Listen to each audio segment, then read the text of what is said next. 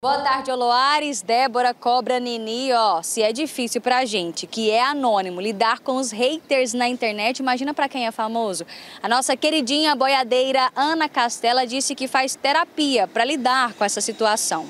A cantora reforçou a rede de apoio familiar, que tem o carinho da mãe, carinho do pai, amigos e que também começou sessões com um psicólogo. Ela disse: tentando não ligar.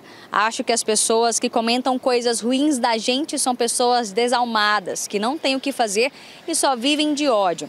Ana Castela fez sua estreia no palco principal da Festa do Peão de Barretos 2023. Durante a apresentação no maior festival de música sertaneja do Brasil, a cantora enfrentou problemas ao não conseguir atingir o tom da música Solteiro Forçado. Em vídeos que circulam na internet, Castela aparece chorando e pedindo desculpa para o público por sua voz não conseguir atingir a sonoridade que ela tinha planejado. Desculpa não conseguir cantar ela. A cantora foi bastante criticada na internet, mas ó, gente, às vezes o artista tá cansado, triste, passando por problemas pessoais assim como a gente.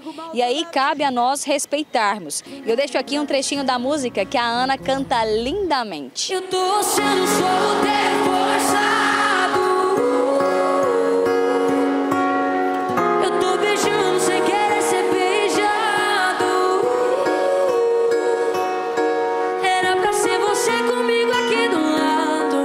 Ainda durante a apresentação em Barretos, a cantora lançou a faixa Tô Voltando. Na canção, Castela canta sobre uma pessoa que volta para a vida no interior após não conseguir se adaptar na vida dos grandes centros urbanos.